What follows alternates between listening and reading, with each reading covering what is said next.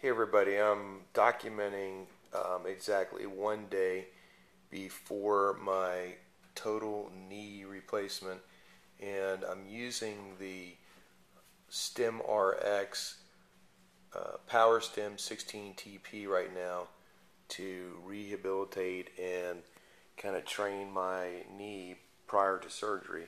I've got the two electrodes in here. You can see it right here grabbing my my quad muscle to, there it's relaxing and now it'll it'll pull back up in a second. There it comes.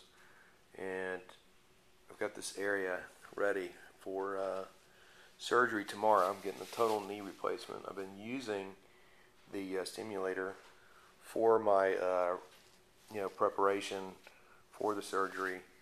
The um, the 16 TP is good because it's strong it's powerful and it's portable. I've got it right here next to my bed and um, you can set the frequency, the intensity, and the uh, stim time. So I'm going to take up the uh, frequency right now. Simply, I'm going to dial it up. You see it just relax right there, and I watch it all kick in.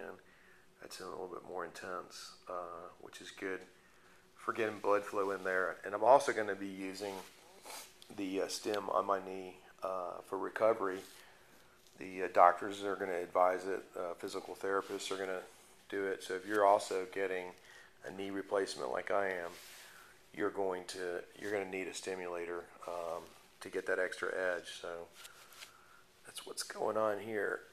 Yeah, it's pulling it real good right now. It's real strong. Here you'll see it contract in just a second. There it goes.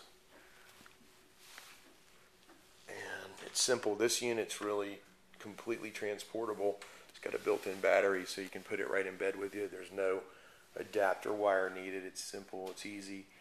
Um, I'm going to lower the frequency for a second and I'm going to take up the intensity and you'll watch it. You'll see it contract here.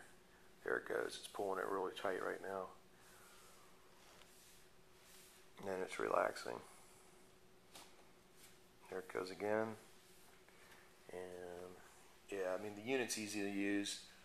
I recommend it. I've been using it uh, to get ready for my uh, total knee replacement surgery. So I'm going to keep a video blog of how it goes. Tomorrow morning at 6 a.m. I have the surgery. Um, I have to say that this stimulator has been excellent at helping me strengthen my muscle prior to surgery.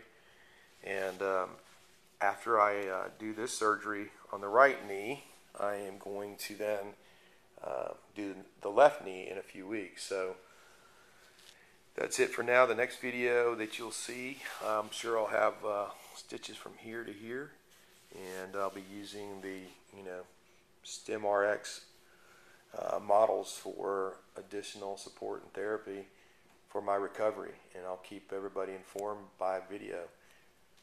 So, okay, this is Chris, and I'm signing off.